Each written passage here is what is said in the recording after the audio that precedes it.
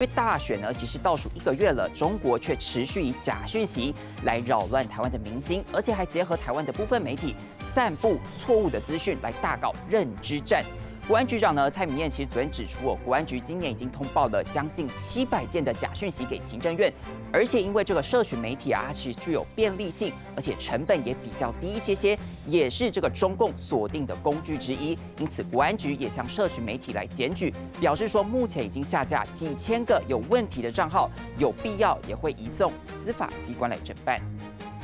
感谢所有的关心的所有的好朋友们。彰化县村里长联合服务总会长何吉胜，不仅连任三届唐有里里长，还是国民党二十一权党代表。十一号被检方侦讯，认为他组团到中国旅游六天，只要一万八千元，遭质疑触犯反渗透法声押，但法院审理之后裁定无保请回。我的哦旅游我。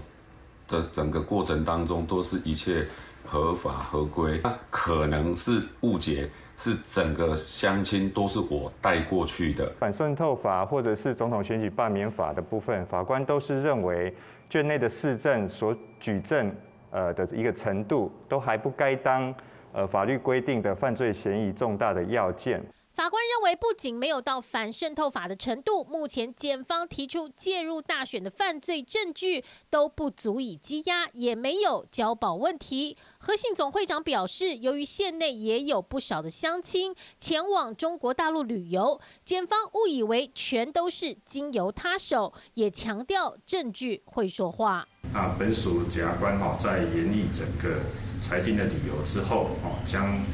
在近日内哈，马上提起抗告。检方将提出抗告，当事人表示会全力配合。检方也表示，民众在接受招待出游的案件，事发地又不在台湾，要找出金流还有对价关系，确实有难度。但是喊话国人不要受到利诱，否则可能面临刑事责任。